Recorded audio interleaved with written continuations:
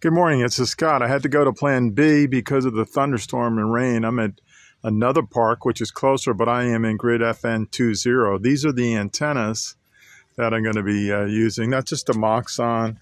Sets up very quickly. Um, you'll notice that just has a, you can basically tighten it with a screwdriver, right? Um, and it sets up very quickly, folds down very nicely. This is the diamond uh, antenna this is a 10 element 2 meter antenna.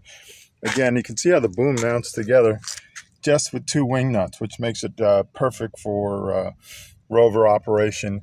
And then each element basically has a, a wing nut on it as well. So it makes for a very quick and portable setup.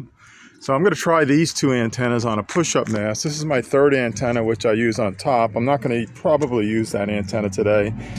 Have to see how the uh, lightning holds up today in the thunderstorms. This is the park that I'm operating in. I'm in grid FN20, which is in uh, Willingboro.